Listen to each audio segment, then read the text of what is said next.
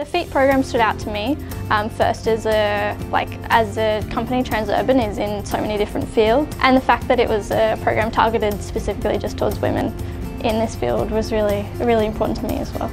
Transport is something that I really wanted to do because I feel like there's something that can lead, keep us going and flowing, just make things a lot easier for us. Today I really enjoyed yeah, going out to the site, seeing the project in the middle of working as well as seeing like the women that came out with me. It was really cool seeing mechanical engineers working here.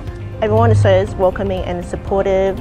Like you, I can just go up to them and ask anything. Really challenging for women in engineering roles because of, mainly because of lack of representation um, and that means like lack of numbers. So um, something like the FEET program is just amazing for that, that's actually helping um, sort of encourage bringing women to field, bringing women straight from uni to companies like this.